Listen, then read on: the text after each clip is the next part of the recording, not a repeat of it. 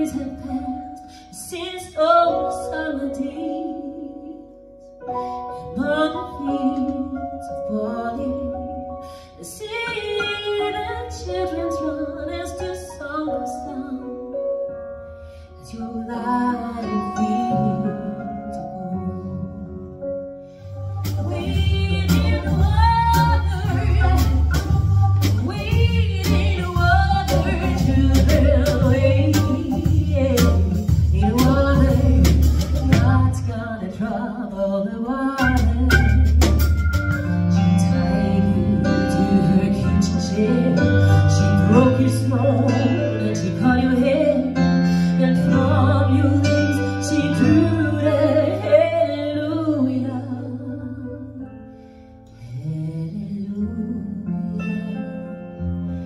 more.